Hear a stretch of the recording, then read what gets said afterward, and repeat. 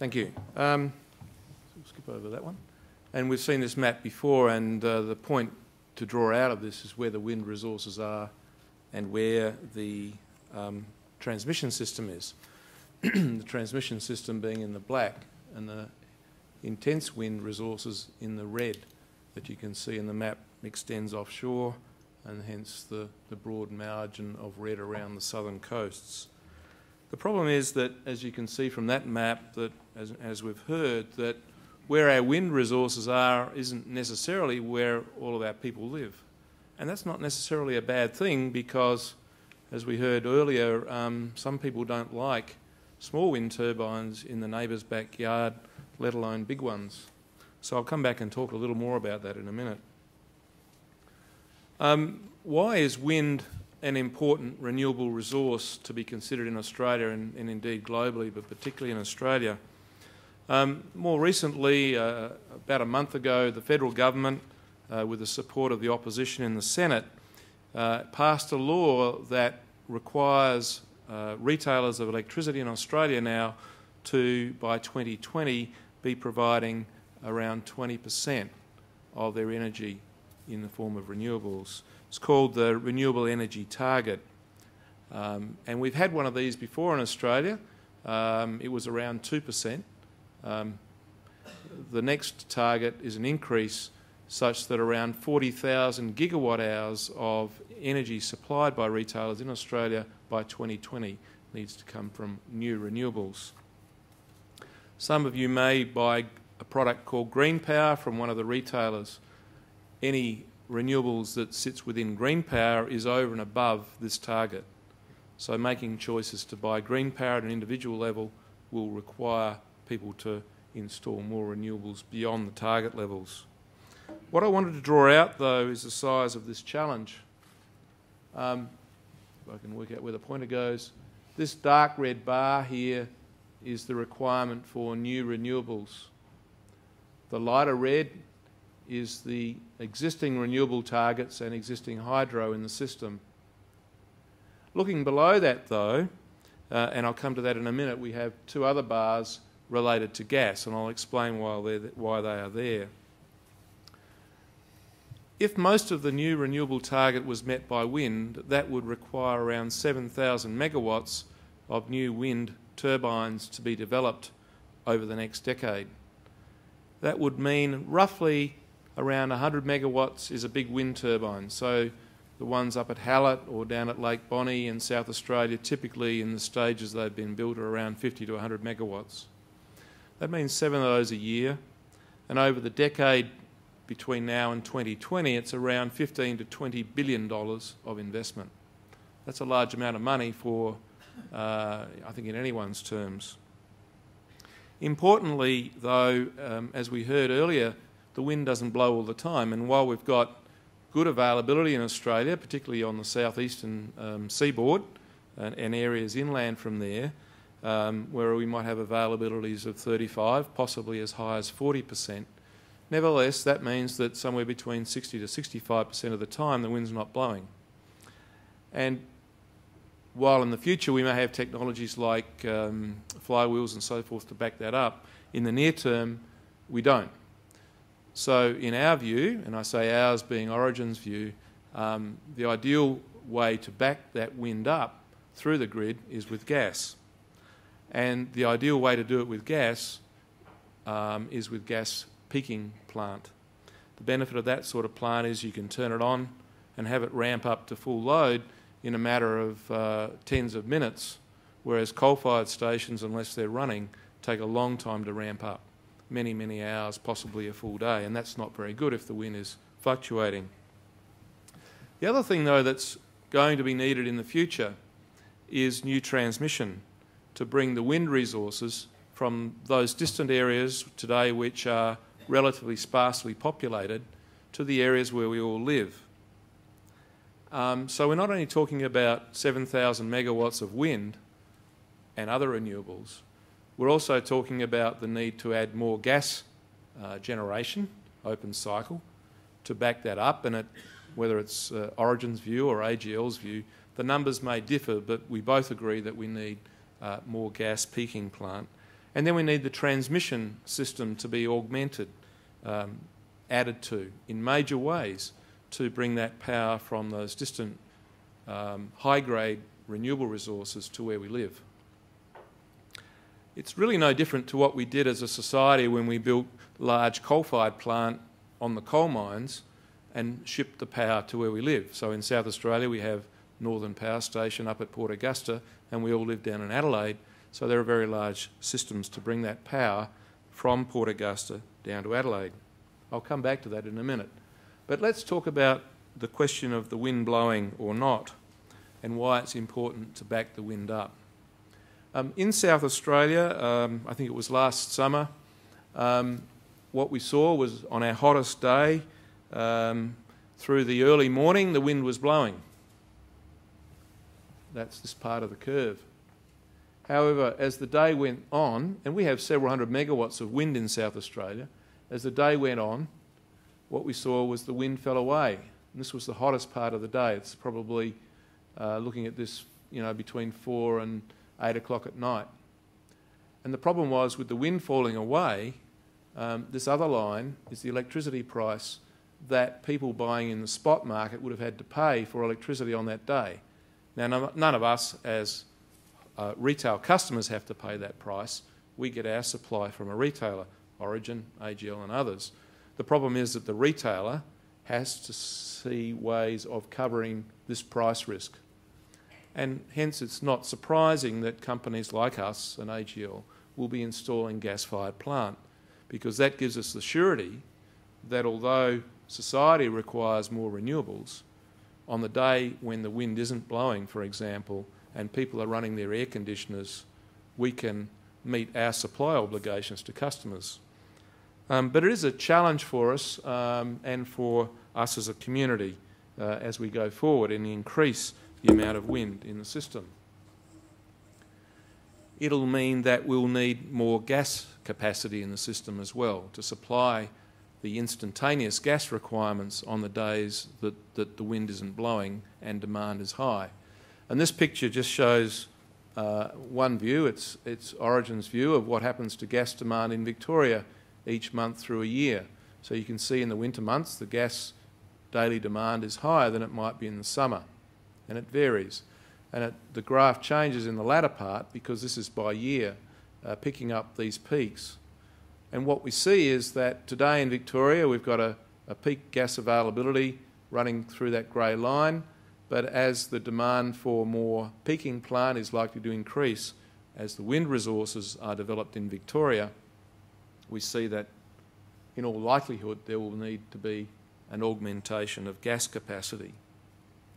Similarly, um, this next graph looks at the transmission systems and their capacity to handle more injection of um, uh, generation into those systems. So um, perhaps to pick up one example, um, South Australia today, uh, with the dark red line, is indicating that the transmission systems in South Australia are starting to hit against limits for ability to absorb more wind. Now, South Australia is very well placed in terms of its wind resource, particularly as you go further west onto Eyre Peninsula. Um, the problem is that there isn't a strong transmission system to bring the power from that area to where we live, but more particularly, not just the million or so that live in Adelaide, um, why not export more of that power to the eastern seaboard?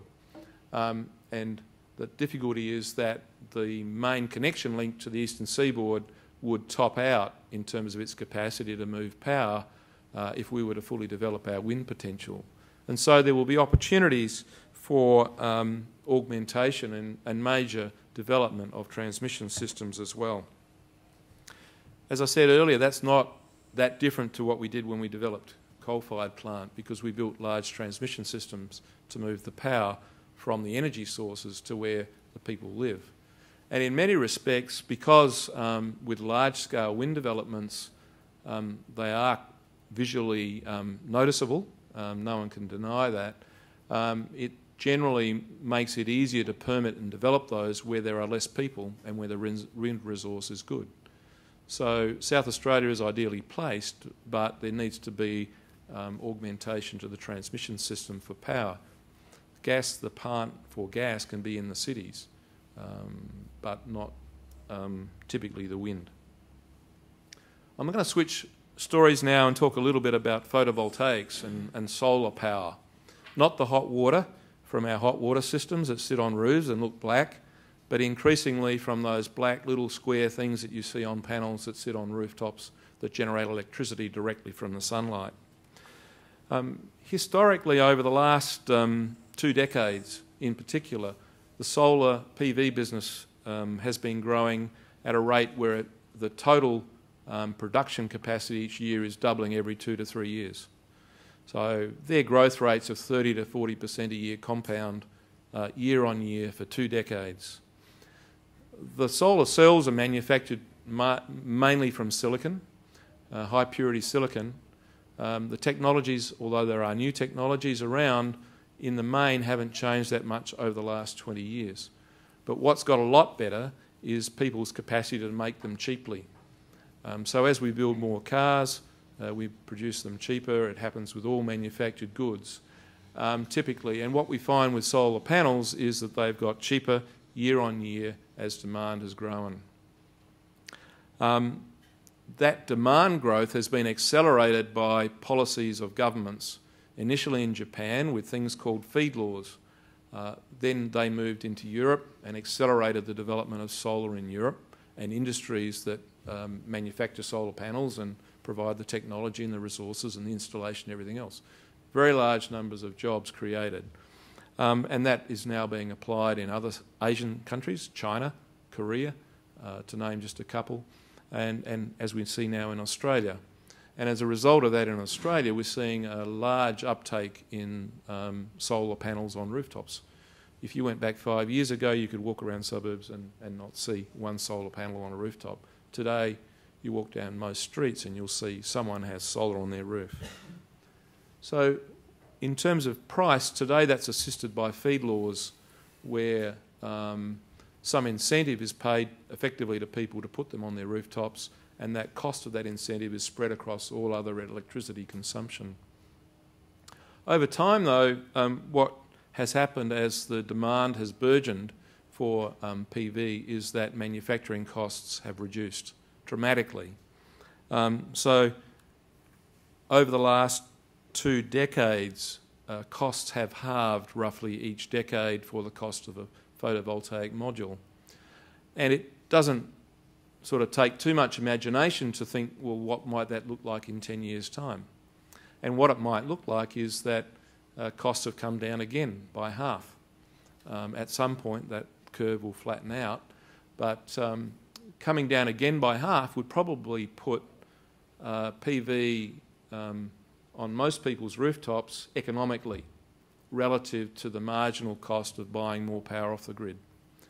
Now that presents a whole number of uh, additional challenges for traditional network supply businesses in electricity because our grids historically have been designed to take the power from a central area and distribute it out at lower and lower voltages to where we all use it.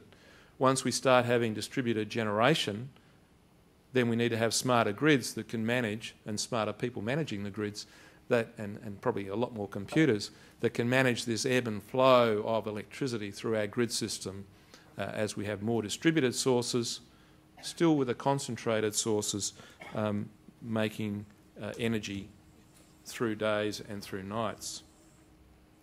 The other sort of solar power, which I won't talk about, is derived from concentrated solar power systems, and I'm sure we'll cover that later with another speaker. Um, my bottom line, I guess, is can these things make a difference? Uh, there are regulations that will require that we do some things differently. Um, I think the answer is yes, they can make a difference, and it's a big difference. We need to make big steps to achieve these differences on a material scale, and that's partly what the change in the renewable law is about, partly what the feed law is about, is to drive those costs down and push more renewable, lower emission intensive energy into our systems. Can it make a difference? Yes, it can. Um, the climate group this week, I think it was, issued a report on um, uh, the last uh, year's emissions out of Australia's power plants uh, around Australia on each of the mainland states on the national electricity market. South Australia came in at about 0.64 tonnes on average of CO2 per megawatt hour generated with our mix of coal, gas and wind. Uh, if one was to contrast that with Victoria, uh, they have more brown coal clearly and less wind uh, and some gas but not a lot. Uh, Victoria came in at 1.15 tonnes per megawatt hour. So with the combination of gas, wind and albeit some coal in South Australia, we're achieving generation with a substantially lower carbon footprint than, than what is possible uh, from higher fossil fuel based um, technologies. So perhaps that's a sign of the future of what we can aspire to across Australia. Thank you. Thank you.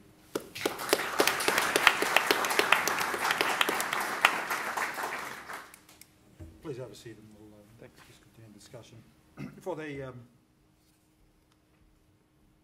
just to keep on time, I think I'll ask you perhaps one and maybe two questions. Um, you mentioned gas as uh, an alternative to actually supplement the wind energy. Uh, and it's fair to assume that um, uh, the highest uh, peak in, in electricity demand is when the sun is quite hot enough. Why don't we use solar uh, as a supplement to wind?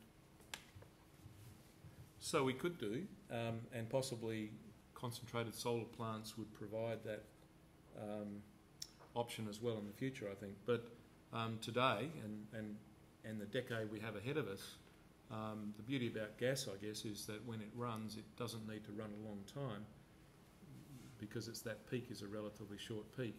Um, and it's relatively cost efficient to do it today.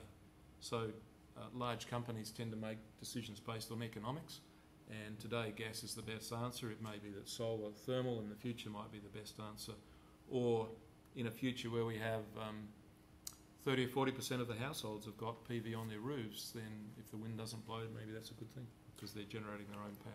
Let me follow this up again. Uh, 8% uh, uh, of our electricity is generated from natural gas. Um, and apparently, if we switch to 100%, we only got 15 years to go of the total. Should we be reserving this for processes which require high temperature and natural gas and use it for electricity? Um, I think I think those arguments have been put in the past. Um, in fact, I was living, I think, in Victoria at the time when uh, those arguments were around the Newport Power Station. Victoria has not run out of gas in the last 20 years. I think more importantly, though, uh, we, we don't know what the actual reserve is, isn't it? We do or we don't. I mean, Origin is clearly involved, as are other companies, in developing uh, new forms of gas in coal seams, uh, extracting that and potentially putting that into large LNG plants that will export many times the domestic consumption of gas in Australia. Likewise, uh, in Western Australia, um, with projects like the Gorgon project recently approved and under development. These are Australia has very, very large gas resources, both conventional and unconventional. Um, a few years ago, North America was running out of gas, and then they found out that they could extract gas from um, shale uh, shale underground rock. Today, North America um, gas prices in North America have halved because of that gas technology now being developed, and we haven't even looked really seriously in Australia at what that potential might be. So I, I don't think we're going to run out of gas anytime soon. Okay, that's very optimistic. Um, just one small question, and then you mentioned that we need to upgrade the transmission lines. Who do you think should pay for it? Um, well, at the end of the day, I guess uh, whether it's governments or private sector that install these things, uh, I think in our economy generally either the taxpayer or consumers pay. So um, one way or another, those people that generally use um, the things that uh, uh, we buy and so on are the people that pay. Please join me thanking Andrew. We, will have time for questions.